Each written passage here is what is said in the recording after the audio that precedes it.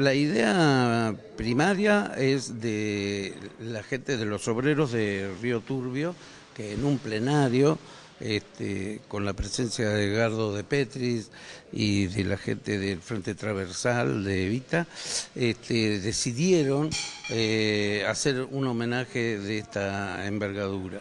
Y además eligieron el bronce para plasmarlo. Lo que se está previsto es, eh, creo que el 26, eh, que pase la noche del 26 al 27 en una mm, velada que, lo van a custodiar los mineros precisamente de Río Turbio, algo así como 150, 160 mineros este, lo van a custodiar toda esa noche y eh, va a permanecer todo el día 27 en la Plaza de Mayo.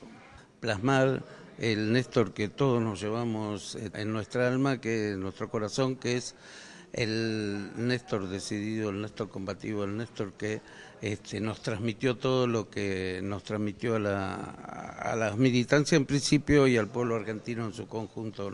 Me sentí en este proceso un mero ejecutor, pero que la mano me, me la fueron llevando los compañeros, digamos. ¿no? Fue así que empezamos con eh, procesos de bocetos en, el papel, luego lo pasamos a, maquetas y este, después lo hicimos en arcilla y, luego el bronce. ¿no? Este monumento me lo trajo el escultor en un modelo original y después se fundió al sistema La Cera Perdida, que son, eh, es, digamos, es del original hacer una reproducción en cera y después de esa cera pasa a, a bronce. ¿no?